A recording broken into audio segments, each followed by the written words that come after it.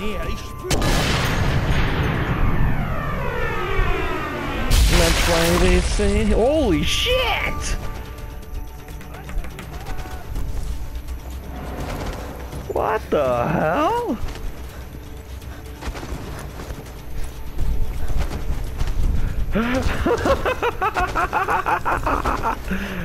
oh my god.